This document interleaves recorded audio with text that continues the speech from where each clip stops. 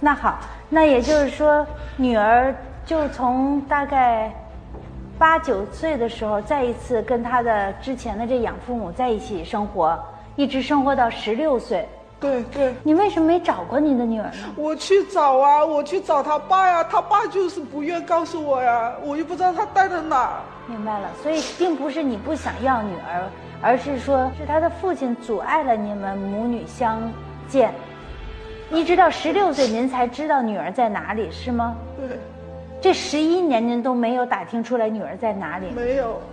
那为什么十一年之后，为什么您的前夫告诉您女儿在哪？不是不是我前夫告诉我，就是这养父母写信回来，他写信写的他奶奶的单位，单位就送给他奶奶，他奶奶就拿过去就找了我。为什么呢？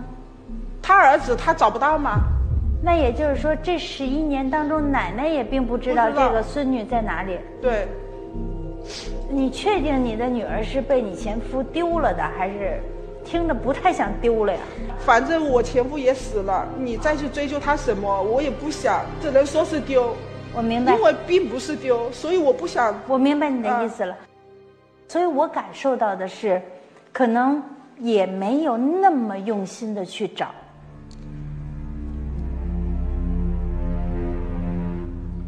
那我只能这样说，我前夫也不会让我知道女儿在哪。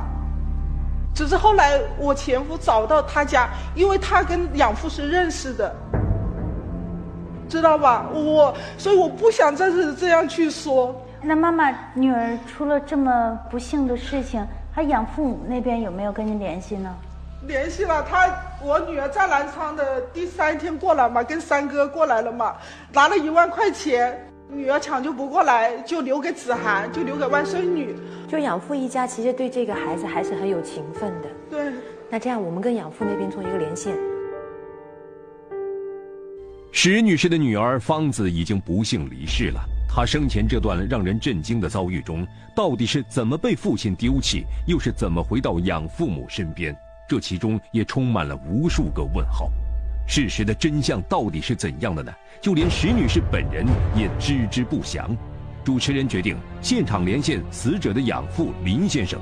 林先生能够帮助大家还原这段二十多年前的隐秘往事吗？林先生您好，我们是江西卫视金牌调解的。您有个养女芳子，当年是怎么到您家里的？一方六岁的时候，他爸爸跟他妈妈离婚了。嗯，法院判是判他爸爸带一方，他妈妈带他弟弟。嗯，六岁那一年，他爸爸到我家里来玩，就放在我家里。他跟我说要到石狮去进货。嗯，那也没有说表明说房子是要给我抚养。后来他一去就不了了之了。就没来了。嗯，那七岁来到十岁，他爸爸又来了。那一次来了，看小孩子已经长得蛮高了，蛮大了，跟我说要带到厦门市区里面去逛一下。我说可以。那那一天带出去就没有带回来了。最后知道。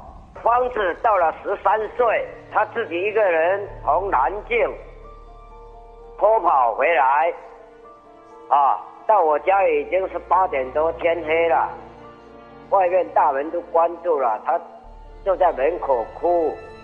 我那个最小的孩子听到外面有哭声，出去看，看一下，跑进来说：“哎呦，方子怎么又回来了？”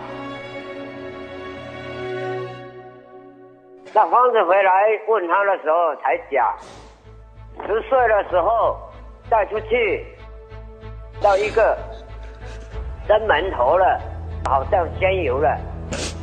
小孩子算起来还是蛮聪明的，啊，到他到南京帮他忙的时候，他去送馒头，啊，去收账，他就慢慢打听，慢慢打听，打听说到厦门要多少车费，啊。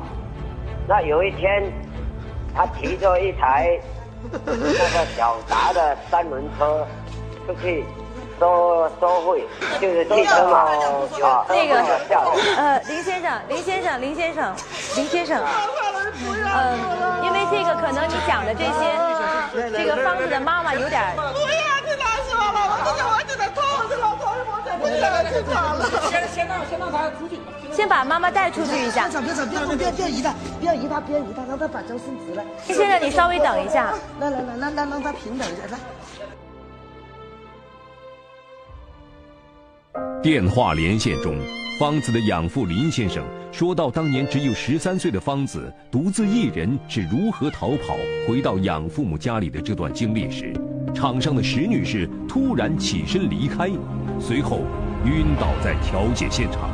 林先生，林先生，林先生，林先生，嗯，因为这个可能你讲的这些，这个方子的妈妈有点。不要你难说了，我真的我就在痛，这老头儿我在调解被迫中断，现场工作人员和热心的观察员廖阿姨随即来到石女士身旁，采取了紧急处理。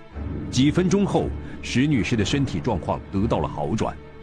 拿点水来喝好吗？好吧，我们都很理解，也很同情你。作为一个母亲，很可怜的。石女士的身体状况逐渐恢复以后，被现场工作人员暂时安排到场外休息。石女士离开后，我们再次拨通了方子的养父林先生的电话。林先生，因为刚刚可能说的这个现场，这个方子的亲生母亲有点接受不了，所以刚刚处理了一下哈。但是我们还是很想了解、了解清楚这后面到底发生了什么。当年只有十三岁的方子，一个人偷偷逃回养父林先生的家中后，为何又在十六岁的时候被养父林先生送回了石女士的身边？明天的节目中，方子的养父林先生在第二次电话连线中，面对这笔五十三万元的交通肇事赔偿款，他会拿出怎样的分配方案？补偿费就是不管谁都不能拿，不要再出现像方子这样啊，来一个历史重演。哦，我是怕历史重演。在明天的节目中，重新回到调解现场的石女士，还会不会继续坚持索要外孙女的抚养权？他的女儿芳子的身世揭开之后，又会给这场调解的方向带来怎样的变化？这笔五十三万多元的交通肇事赔偿款，最后会怎样分割？那个失去了母亲、年仅四岁的孩子，到底该由谁来抚养？